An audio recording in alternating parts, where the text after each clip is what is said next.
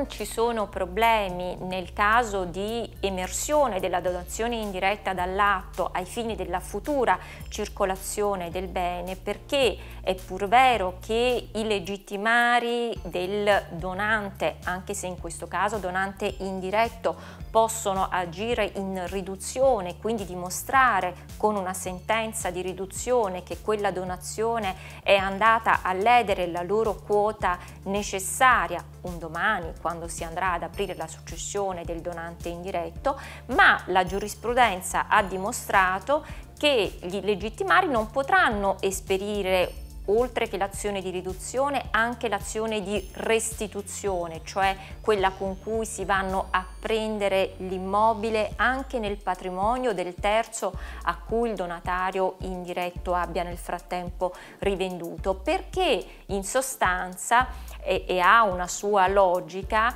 diciamo che il legittimario può andare a pretendere di venirsi, eh, diciamo di veder rientrare nel patrimonio del proprio defunto solo ciò che da quel patrimonio è materialmente uscito e se nella donazione indiretta è uscita solo la somma di denaro, solo la somma di denaro potranno pretendere di vedersi restituita. Quindi l'immobile è salvo e la circolazione dell'immobile anch'essa è salva.